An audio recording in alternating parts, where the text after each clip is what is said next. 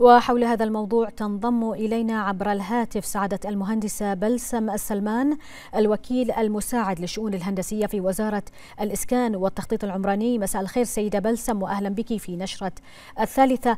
بداية نود أن نتعرف على إجراءات الوزارة فور تعرض المبنى السكني للحريق يوم أمس. مساء النور. في البداية أتقدم باسمي وباسم جميع منتسبي وزارة الإسكان والتخطيط العمراني بخالص التعازي وصادق المواساة لأسر وذوي المتوفين في الحريق. وأدعو الله عز وجل أن يتغمدهم بواسع رحمته وكذلك أخواننا المصابين أن يمن الله عليهم بالشفاء العاجل.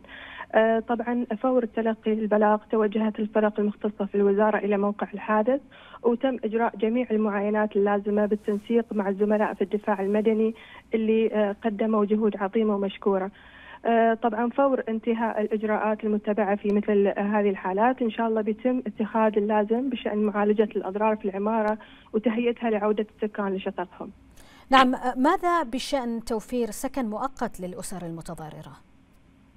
كان هناك تنسيق مباشر بين وزارة الإسكان والتخطيط العمراني ووزارة التنمية الاجتماعية لتوفير سكن مؤقت لجميع الأسر, الأسر القاطنين في المبنى وتم نقلهم إليها بصور فورية طبعا راح تسمح الجهات المختصة للمواطنين العودة إلى. إلى شققهم الغير متضررة متى ما تم تهيئة وتأمين المبنى العمارة إن شاء الله في القريب العاجل طبعا حرص على الحضور والتواجد في موقع الحادث كل من سعادة وزير التنمية الاجتماعية وسعادة وزيرة الإسكان والتخطيط العمراني وعدد من المسؤولين واللي حرصوا كذلك أنهم يكونون متواجدين بمقر السكن المؤقت للالتقاء بالمواطنين واستماع لاحتياجاتهم كما جرى مباشرة يعني إجراء تسجيل جميع الأسر وحصرهم وطمأنتهم بشأن توفير الدعم اللازم لهم إلى حين عودتهم لمساكنهم مرة أخرى بعد الانتهاء من الإجراءات اللازمة وتأمين المبنى.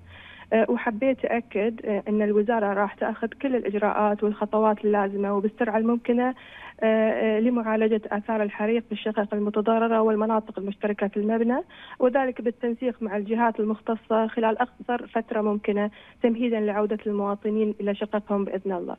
نعم بإذن الله. سعادة المهندسة بلسم السلمان الوكيل المساعد للشؤون الهندسية في وزارة الإسكان والتخطيط العمراني. شكرا جزيلا لك.